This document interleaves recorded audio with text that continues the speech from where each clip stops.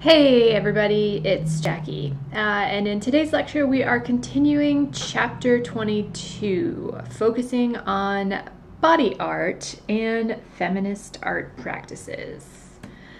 To summarize the last lecture, we were looking at conceptual art during the 1960s, which I have broken into different categories here, ranging from artists interested in language, such as Joseph Kosuth, to early video artists like Nam June Paik and Bruce Nauman. Now, these categorizations may help you keep track of the varying themes among the conceptual artists, but please note that there were overlaps in many cases. As we discussed in the previous lecture, the conceptual artists had a natural affinity towards performance because these art events often freed artists from producing a physical output.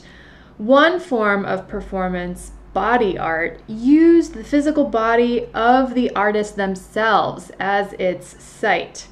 As we will see today, these works often included a strong sense of intimacy between the viewer and the performer. Remember that the late 1960s saw the beginning of the women's movement, which exposed the cultural, political, and economic consequences of biology. Women started to use their own bodies to explore and confront these ideas within the culture at large, and Marina Abramović, Carolee Schneemann, Hannah Wilke, among others, are a few examples of artists using their bodies as their medium to grapple with the changing societal norms. To begin our analysis of body art, we will first look at the work of a collaborative pair. Marina Abramović and Ulay were romantic partners and artistic collaborators for 12 years. This couple was among the first to use their bodies as a means for artistic exploration. In their work about similarity, shown here, both were present on stage as Ulay sewed his mouth shut with a single piece of string. Then Abramović took questions from the audience and answered on his behalf since he was unable to do so himself. In this work, titled Rest Energy from 1980, the couple stand facing each other dressed almost identically. Abramović pulls the handle of an archery bow. Both wore microphones to magnify the sound of their beating hearts. From these performances, you can see that the way they used their bodies varied, as did the level of viewer participation, though often there was some level of discomfort involved from the audience. Let's take a look at a 2010 performance by Abramović, who continued to be very active after her partnership with Ulay had dissolved.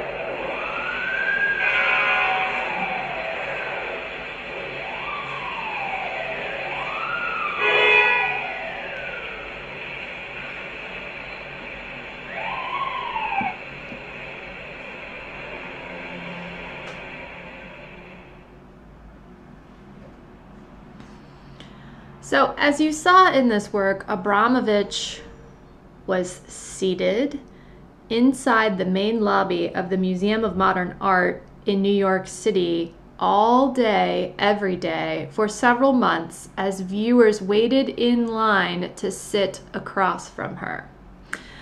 Now, this performance took great endurance and physical strength from Abramović, who took no breaks for sometimes eight or ten hours at a time. Perhaps equally provocative are the works of body, art, body artist Carolee Schneemann.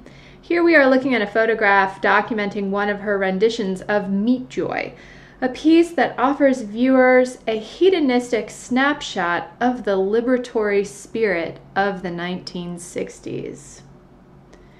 Yet her most famous work is Interior Scroll, shown here. By the 1970s, Schneemann's performance works were at the intersection of culture, the female body, and the combined meaning of both. Interior Scroll was an exceptionally haunting performance that involved Schneemann slowly removing a scroll from her vagina, which she read as the text became available. The text itself was about a confrontation with a male filmmaker. Describing this work, Schneemann stated, I thought of a vagina in many ways physically, conceptually, as a sculptural form, an architectural referent, the source of sacred knowledge, ecstasy, birth, passage, transformation. Here is the full text from the scroll. I met a happy man, a structuralist filmmaker, but don't call me that. It's something else I do, he said. We are fond of you. You are charming, but don't ask us. To look at your films, we cannot. There are certain films we cannot look at. The personal clutter, the persistence of feelings, the hand touch sensibility, the diaristic indulgence, the painterly mess, the dense gestalt. He said, You can do as I do, take one clear process, follow its strictest implications intellectually, establish a system of permutations, establish their visual set my work has no meaning beyond the logic of its systems. I have done away with emotion, intuition, inspiration, those aggrandized habits which set artists apart from ordinary people, those unclear tendencies which are inflicted upon viewers. He said we can be friends equally, though we are not artists equally. I said we cannot be friends equally, and we cannot be artists equally. And here is another closer look of Schneemann during the performance of this piece. Let's pause for a moment to appreciate the physicality and intimacy involved in this particular work.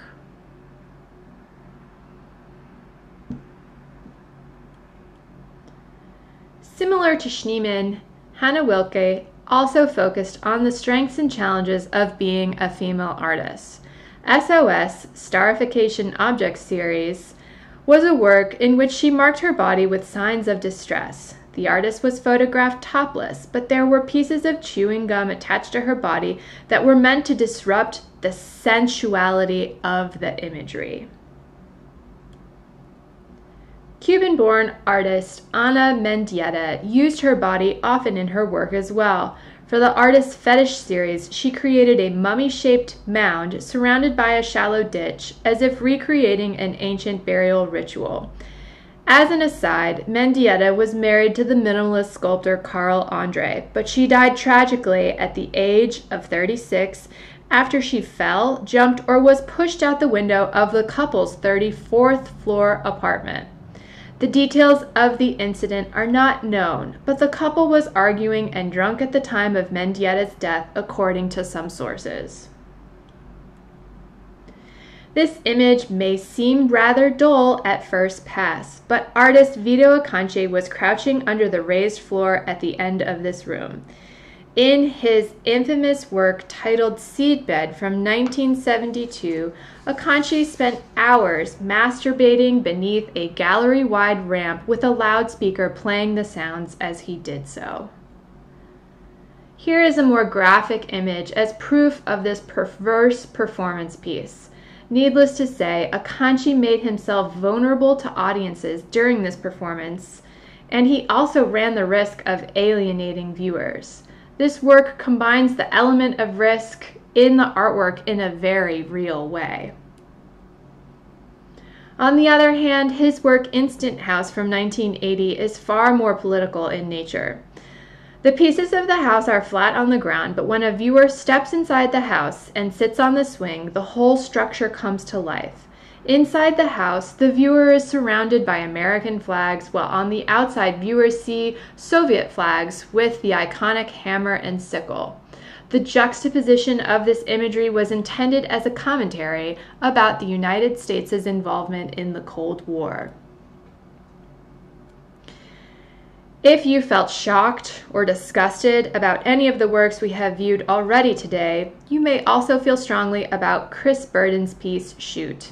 In 1971, Burden became very well known when he asked for a friend to shoot him in the arm during a performance, stating, In this instant, I was a sculpture. In this still, we see the aftermath of the performance. Whereas in this image, we can see more clearly how this work was executed.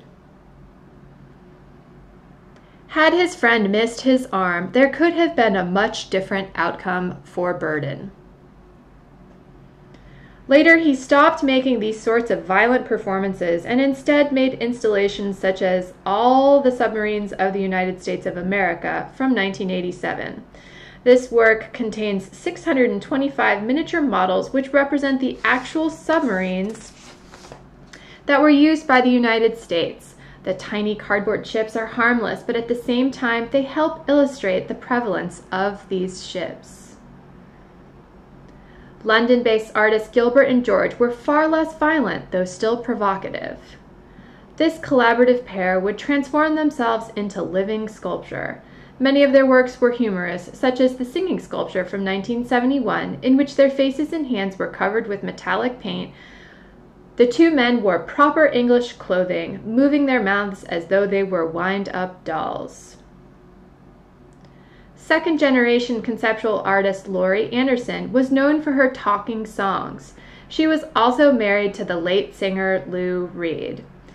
United States Part 2 from 1980 was a four part epic that covered big themes such as transportation, politics, sociopsychology, and money. Okay, Returning to today's lecture, we're going to look at Rebecca Horn, uh, a German performance artist who explored the limits of the human body with props like large feather costumes or gloves with extremely elongated fingers. The feathered prison fan from 1978 here um, appeared in the artist's first feature length film, which translates to The Gigolo. It was set in a ballet studio, and the film was both sensuous and erotic, with influences ranging from the surrealist Max Ernst as well as the sculptor Constantin Brancusi. Now that we have discussed body art, let's turn our attention to feminist art. And we will start by looking at the Feminist Art Program. FAP was founded by artists Miriam Schapiro and Judy Chicago at California State University in 1971. FAP wanted to create a space for female artists through their different projects, the most notable of which was Woman House from 1971. FAP moved to the California Institute of Art in 1972, where students began working on Woman House. It was one of the largest installations of the 1970s. Each room of the house was remade as a feminist critique. For example, a linen closet trapped a woman inside as a metaphor for a domestic cage. The menstruation bathroom was easily the most disturbing room in the house, with its wastebasket overflowing with evidence of a woman's of a woman's period. Here are two more rooms inside the house the kitchen, which has boobs pasted to the walls like decals, and the nursery with its oversized hobby horse that takes on an ominous character because of its foreboding size. Reflecting on the meaning of the kitchen in particular, Schapiro said, It became obvious that the kitchen was a battleground where women fought with their mothers for the appropriate share of comfort and love. It was an arena where ostensibly the horn of plenty overflowed, but where in actuality the mother was acting out her bitterness over being imprisoned in a situation from which she could not bring herself to escape, and from which society would not encourage such an escape. Both Schapiro and Chicago had lengthy careers after their work together on the feminist art program, and next we are going to look at another major installation by Chicago, photographed in her studio here in 1975. Judy Chicago's Dinner Party from 1979 is a massive and ambitious work that required many years and numerous volunteers in order to be completed. There are 39 place settings at the table, each one for an important historical or, or fictitious female character. The table is arranged in the shape of a pyramid, an ancient symbol for womanhood, and within the enclosed floor area are the names of 999 women in history and from legend, such as Georgia O'Keeffe and Frida Kahlo, for example. References to the Last Supper, an exclusively male dinner party, are also brought to mind with the number of witches, um, as are the number of witches present in a coven, 13. In 2006, the piece was permanently installed in the Brooklyn Museum's Elizabeth A. Sackler Center for Feminist Art. Here is a reproduction of Leonardo da Vinci's Last Supper for reference. And here are two detail shots of the place settings at the dinner party. Returning to the world of painting, British realist painter Sylvia Sleigh made her own eroticized paintings of the female nude from the feminist perspective. The female nude is so ubiquitous throughout Western art history that sometimes viewers are blind to the manipulations, violence, aggression, and distortions that it entails. Sleigh remade compositions of female bodies, supplanting a male nude form as in Imperial Nude Paul Rosano from 1977.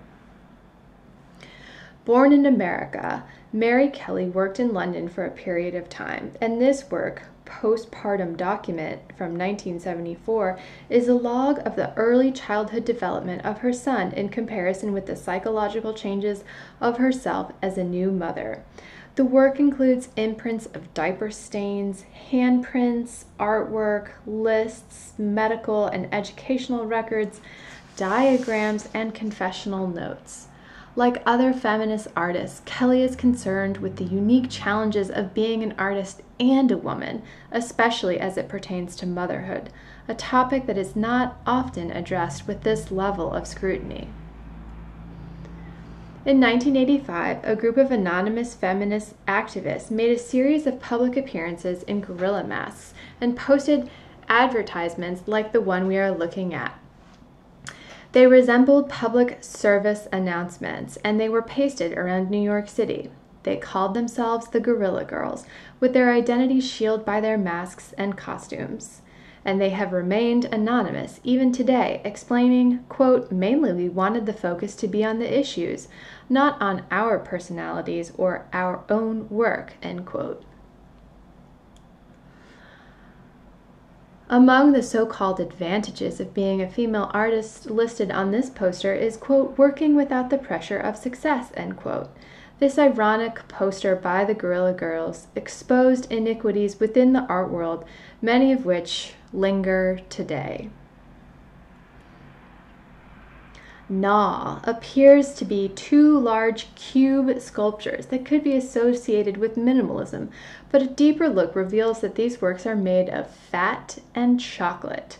Artist Janine Antoni has in fact gnawed them, chewing off mouthfuls of each material. She's eaten materials like these to the point of near illness or vomiting. In her lipstick display, Antoni used the material she had chewed to create a case that resembles a chocolate box and lipstick tubes, preferring a feminist critique of materialism and consumption to viewers. Here we see Antoni mopping the floor with her hair. She said, I mopped the floor with my hair. The reason I'm so interested in taking my body to those extreme places is that that's a place where I learn, where I feel most in my body. I'm really interested in the repetition, the discipline, and what happens to me psychologically when I put my body to that extreme place. As with the body artists, many of the feminist artists were interested in creating work that pushed boundaries, physically and culturally speaking. French artist Sylvie Fleury also took aim at consumerism by confronting the idea that a buyer is shaped by the products one consumes. In her Formula One dresses, Fleury created a fashion series in which the women who wear these dresses are the equivalent of a corporate sponsored racing team, thus conflating the women with sports cars. While the works of these feminist artists were cutting edge during the 1970s, few artists today can ignore the effects of gender within their practices. And with that, we will now highlight several artists addressing another important cultural issue that was shifting during the 1960s. Against the backdrop of the civil rights movement, some artists began to explore the relationship of racial politics within the arts. Created in Chicago in 1967 by the Visual Arts Workshop of the Organization of Black American Cultures, The Wall of Respect was one of the first works to address the experiences of African Americans. The Wall was a collaborative mural created by artists and residents of the Southside neighborhood, and it contained a collection of portraits of important black figures such as Malcolm X, Martin Luther King, Charlie Parker, Aretha Franklin, and Muhammad Ali. The site slowly became a source of power. Gangs competed for access to the mural, and there was violence, even a murder at one point. Nonetheless, the group stuck together and tried to use art as a means of uniting disparate communities.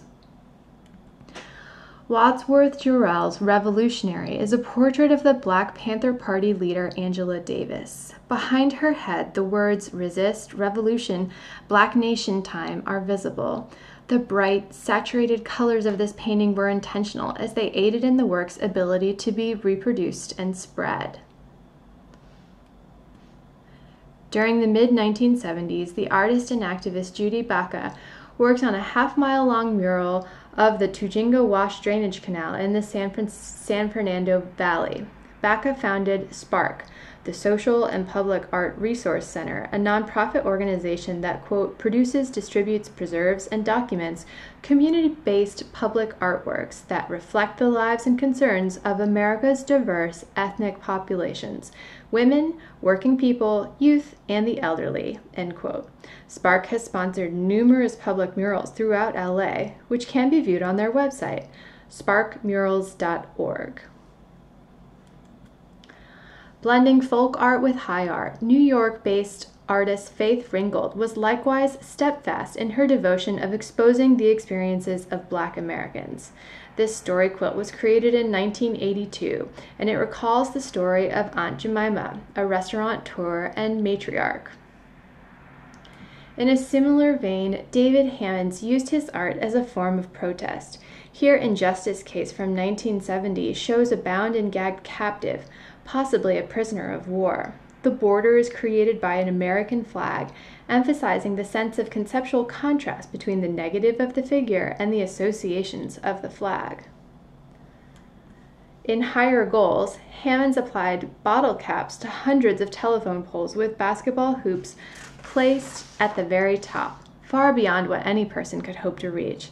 Hammons explained, quote, it's an anti-basketball sculpture. Basketball has become a problem in the black community because the kids are getting an education. That's why it's called higher goals. It means you should have higher goals in life than basketball, end quote.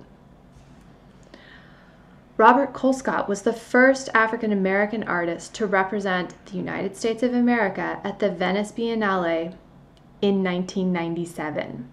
Colescott trained at Berkeley and then in Paris with the artist Ferdinand Leger from 1949 to 1950. His painting seen here, George Washington Carver crossing the Delaware, page from an American textbook from 1975, takes an ironic twist by reversing the roles of race that culls from American history painting traditions. Colescott explained, quote, Unfortunately, stereotypical images are part of American heritage. I had to come to terms with it for myself, ultimately controlling the images by making them say some things for me, end quote.